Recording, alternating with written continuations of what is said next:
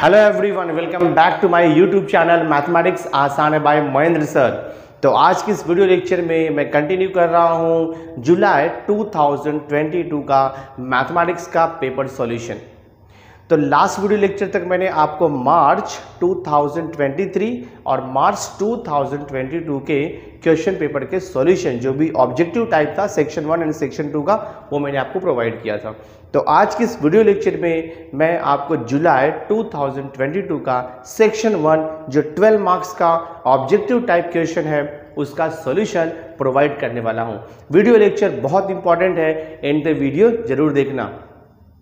देखो मैंने यहाँ पे क्वेश्चन नंबर वन ए लिया है। If P he is intelligent एक स्टेटमेंट है। क्यू ही इज़ स्ट्रॉन्ग ये दो स्टेटमेंट हो गया P and Q simple logical statement है। तो यहाँ पे क्या बोल रहा है? Are the statement in logic then the symbolic form of the statement statement क्या दिया हमें देखो यहाँ पे? It is false that he is intelligent और स्ट्रॉन्ग देखो यहाँ पे और यूज़ किया है। दो सेंटेंस को कंबाइन करने के लिए और यानी कि यहाँ पर डिसजंक्शन यूज़ किया है।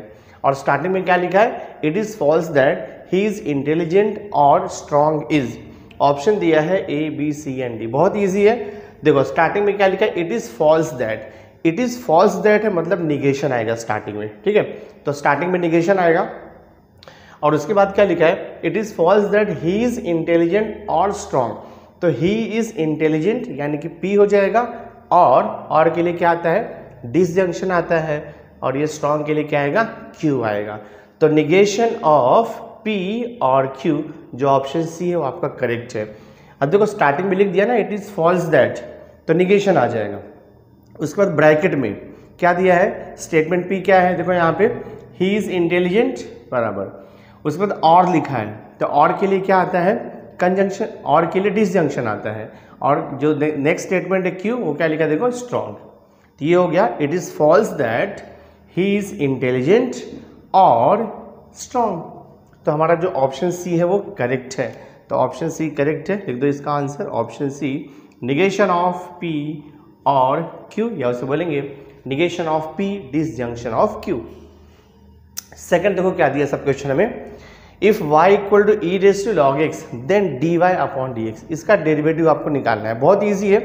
E raise to log x का derivative e raise to x रहेगा तो उसका derivative e raise to x होता है। लेकिन ये e raise to log x है।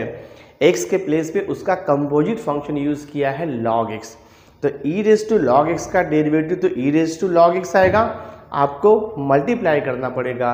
डेरिवेटिव ऑफ़ लॉग एक्स और लॉग एक्स का डेरिवेटिव कितना होता है? वन अपॉन एक्स होता है। तो e raise to log x का derivative e raise to log x upon x आएगा। यानी कि हमारा जो ऑप्शन ए है, वो करेक्ट है। Option A e raise to log x divide by x ये हमारा आंसर आएगा। थर्ड सब क्वेश्चन देखो क्या दिया है। X is equal to two a t square y is equal to four a t then आपको वाई अपॉन एक्स निकालना है। बहुत ईजी है। X equal to two a t square दिया है तो हम इसका डेरिवेटिव निकालेंगे with respect to t because यहाँ पर टी पैरामीटर है। तो टू ए तो कांस्टेंट रहेगा आपका। Derivative of t square with respect to t Himalaya में आपको टू टी होता है तो लिख देंगे टू टी तो कितना हो जाएगा फिर देखो आपका ये टू टू ज़ा फोर ए टी हो जाएगा। ये d x upon a t हो गया। एग्जैक्टली सेम वे देखो हमें वाई क्या दिया है फोर ए टी तो d y upon d t क्या हो जाएगा? इसका डेरिवेटिव निकालोगे? फोर ए कॉन्स्टेंट है, यानी कि टी का कोइफिशियंट है तो टी का derivative with respect to t तो वन आता है फोर ए वैसे ही रहेगा। यानी कि four a into one four a आ जाएगा। ये हो जाएगा आपका फोर ए ये हो जाएगा four a there four d y by d x कैसे निकालते हैं, आपको मालूम ही है? D y upon d x का फॉर्मूला होता है d y upon d t divide by d x upon d t ये हो जाएगा four a divide by four a t four a four a cancel हो गया, वन अपॉन टी आपका answer आएगा। यानी कि ऑप्शन ए जो दिया है, वन अपॉन टी, वो करेक्ट ऑप्शन आपको दिया हुआ है। देखो फोर्थ सब क्वेश्चन क्या दिया हमें? If elasticity of demand eta is equal to one then demand is always remember जब भी इलास्टिसिटी ऑफ़ डिमांड का वैल्यू एग्जैक्टली वन होता है then demand is always unitary होता है। हम इसे बोलेंगे यूनिटरी इलास्टिक तो ऑप्शन सी आपका करेक्ट है। आप यहाँ पे लिखोगे यूनिटरी इलास्टिक तो ये आंसर है इसका। ना देखो फिफ्थ सब क्वेश्चन में दिया है। The statement P implies Q is equivalent to तो यहाँ पे देखो लिखा है P implies negation Q option B है निगेशन पी और क्यू ऑप्शन सी है negation P implies negation Q और यहाँ पे डी दिया है P और निगेशन Q. तो P इम्प्लाइज Q का इक्विवेलेंट यानी कि इक्वल स्टेटमेंट होता है निगेशन P और Q. आपको ध्यान में रखना है एज अ फॉर्मूला अगर इसका आप ट्रुथ टेबल बनाओगे और इसका भी ट्रुथ टेबल बनाओगे तो लास्ट कॉलम दोनों का सेम आएगा. तो P इम्प्लाइज Q का इक्विवेलेंट स्टेटमेंट है निगेशन P और Q. तो आपका राइट right ऑप्शन है बी आप लिखोगे निगेशन पी और क्यू ये आपका आंसर है। नाउ देखो सिक्स सब क्वेश्चन में दिया है। The matrix eight zero zero zero eight zero zero zero eight is तो ये टाइप का जो मैट्रिक्स है ना, जिसमें कि all non diagonal elements zero होना चाहिए। And all diagonal element should be same तो when in a square matrix all diagonal element यानी कि a one one a two two a three three same होगा. And the remaining element that is remaining of diagonal element should be compulsory zero then such type of matrix is known as the scaled matrix तो ये definition है scaled matrix का.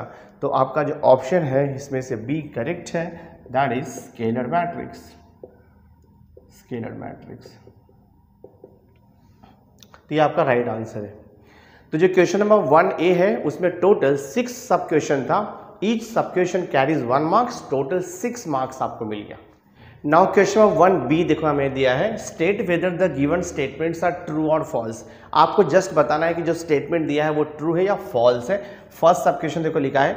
The area of the portion bring देखो first question लिखा हुआ है the area of the portion lying above the X axis is positive यानी x axis के अबाउ जो भी पोर्शन जो भी एरिया लाइज रहेगा, वो पॉजिटिव होता है। स्टेटमेंट बिल्कुल ट्रू है। क्योंकि below the X axis area is always negative हो जाएगा। तो आपका आंसर आएगा इसका ट्रू स्टेटमेंट तो लिख दो, ये ट्रू है। नाउ सेकेंड सब क्वेश्चन देखिए क्या दिया है।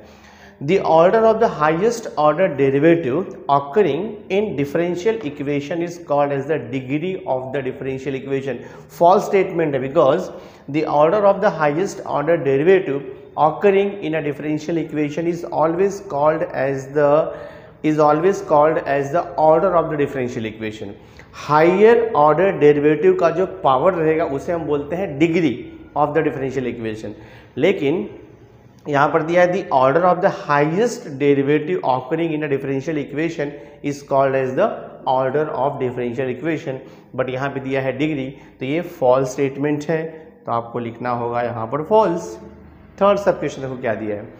If A and B are comfortable for multiplication for the product A into B then A into B hold raise to T is equal to A T multiplied by B raise to T तो यहाँ पे T का मतलब होता है transpose तो A multiplied by B the whole transpose is equal to होता है B transpose multiplied by A transpose यहाँ पे अपोजिट लिखा है. A transpose multiplied by B transpose है. वो रॉन्ग स्टेटमेंट है. करेक्ट क्या होता है?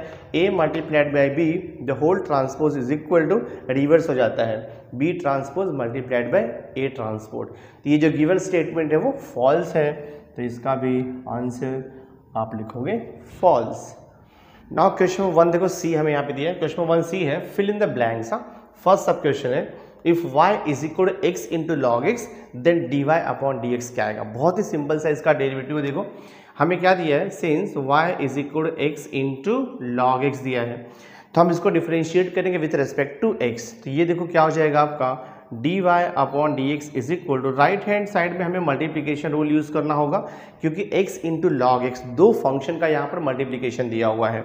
फॉर्मूला आपको पता ही है X into D by D X of log X आएगा, फिर plus log X multiplied by D by D X of X U into V rule है मल्टीप्लीकेशन का।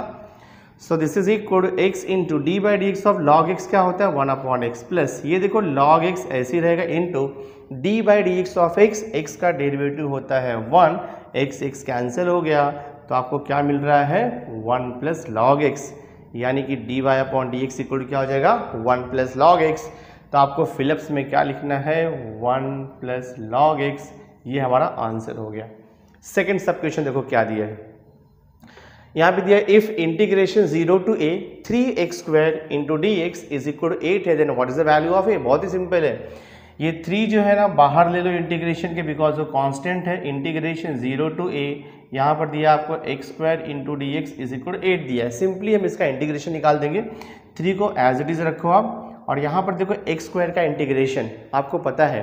एक्स रेस टू एन का इंटीग्रेशन होता है X raise to N plus one upon N plus one तो x square का integration हो जाएगा आपका X raise to three upon three और लिमिट क्या दिया है आपको? ज़ीरो टू ए और इक्वल टू एट आपको लिखना ही है। अब देखो, ये जो थ्री है, ये थ्री कैंसिल हो जाएगा।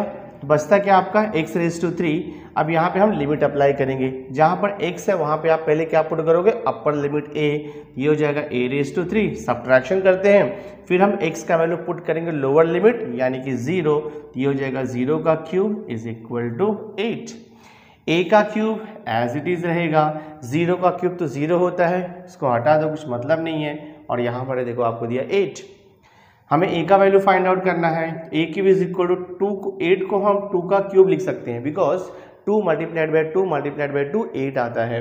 अगर आप कंपेयर करोगे, देखो पावर सेम है तो बेस भी सेम होगा। यानी ए का वैल्यू क्या आएगा? टू तो आपका करेक्ट आंसर है, देखो यहाँ पर टू बहुत ही आसान है सॉल्व हो गया। थर्ड सब क्वेश्चन देखो क्या दिया है। The order and degree of differential equations are always the order आपको पता है क्या होता है? Order order is the highest order derivative present in a differential equation that means first order second order third order fourth order fifth order like that और degree क्या होता है आपको मालूम है जो हाईएस्ट ऑर्डर डेरिवेटिव है उसका जो पावर होगा उसका जो इंडेक्स होगा उसे हम बोलते हैं degree of the differential equation और degree of the differential equation one से स्टार्ट होगा one two three four five like that integers होता है, यानी कि पॉजिटिव इंटीजर्स होता है तो आपका आंसर आएगा the order and degree of differential equations are always आप यहाँ पर लिखोगे पॉजिटिव इंटीजर्स तो पहले से ही लिखा हुआ है तो आपका आंसर आएगा पॉजिटिव बहुत ही आसान है सॉल्व हो गया. So my dear student through this video lecture हमने जुलाई 2022 का जो बोर्ड का क्वेश्चन पेपर है सेक्शन वन का, हमने ऑल ऑब्जेक्टिव्स आपको सॉल्व करके दे दिया है। तो आई होप आज का ये वीडियो लेक्चर आपको इंटरेस्टिंग लगा होगा। तो नेक्स्ट वीडियो लेक्चर में मैं जुलाई 2022 का सेक्शन टू का सॉल्यूशन लेकर के आऊँगा। एंड मैं ट्राई करूँगा कि जुलाई 2000 एंड मैं ट्राई करूँगा कि 2022 एंड 2023 के जितने भी क्वेश्चंस है ऑल मतलब दैट मीन्स एंटायर पेपर का सॉल्यूशन मैं आपको प्रोवाइड करके दे दूँ सो so दैट आपके upcoming examination point of view एक रिवीजन हो जाएगा आपके लिए, जो कि बहुत इंपॉर्टेंट होगा। So thanks for being with me मिलते हैं नेक्स्ट लेक्चर में।